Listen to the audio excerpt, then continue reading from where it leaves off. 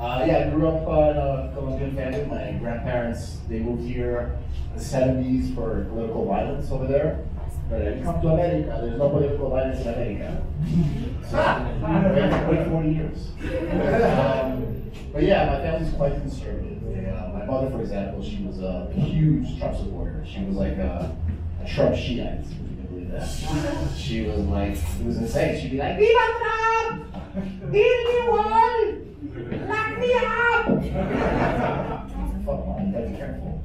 She's like calling immigration on herself. She's like, I'm illiterate, you must come and arrest me. Lock me up!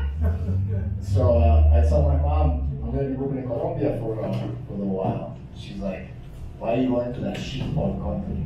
I'm like, Mom, aren't you from there? And she's like, yes, full of sheepdog people, and me.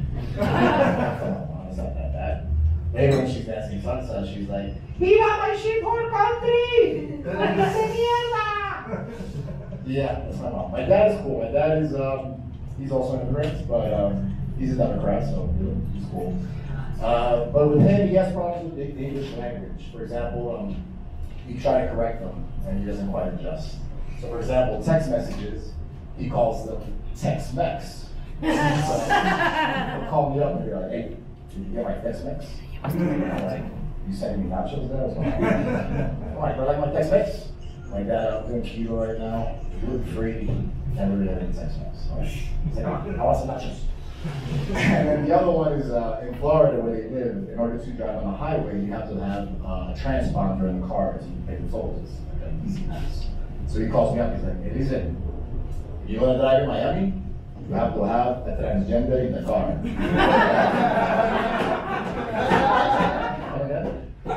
transgender. You, you need to have a in car. You're gonna be in trouble. I'm like, okay, Dad, are you like coming out to me? Like, what's going on? I'm cool. I'm just happy to be honest. This is great. I want you to live your truth. You know. He's like, what truth? The truth is I'm not gonna pay your freaking tickets, okay? You go downtown, you pick up a transgender, and that's it.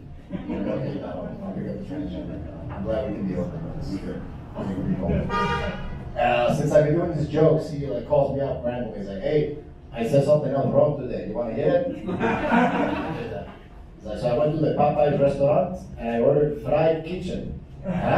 Sounds good, right? Oh, that's genius, uh, fried kitchen. Wow. That's gonna be my Netflix special. Fried kitchen. And uh, well, my dad, you know, he's been in this country a while. He's, I wouldn't say he's that woke. He, he kind of makes things a little awkward sometimes.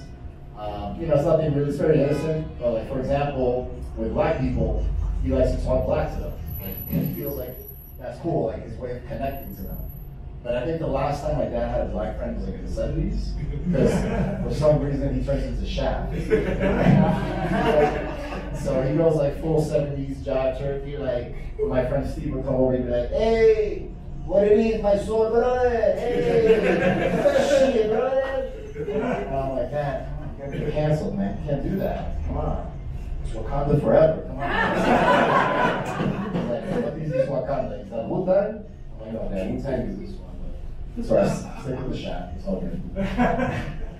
anyway, so yeah, they, they want me to, they want to get married. Um, I started dating somebody recently. It's, uh, it's going great. We moved in together.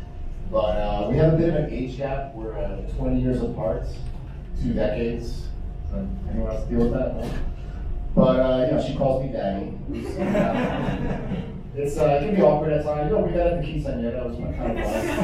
I think um, I think for her, she likes older men because she feels like we can teach some things. You know, like for example, I taught her how to ride a bike.